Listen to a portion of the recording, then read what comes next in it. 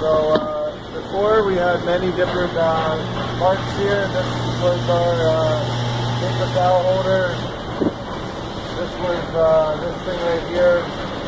And these papers were usually just left on the table and often when you blow something off or use the air nailer, they end up on the floor.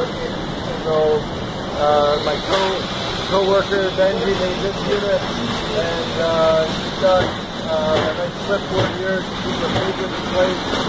And uh, did this. Uh, this is one area that yes, perhaps should have been designed a little better so that uh, this will fit in properly. Uh, maybe that will be an improvement we'll, uh, we'll correct yet. And, uh, but it's, it's a much more functional unit as it is. So that's our two second unit.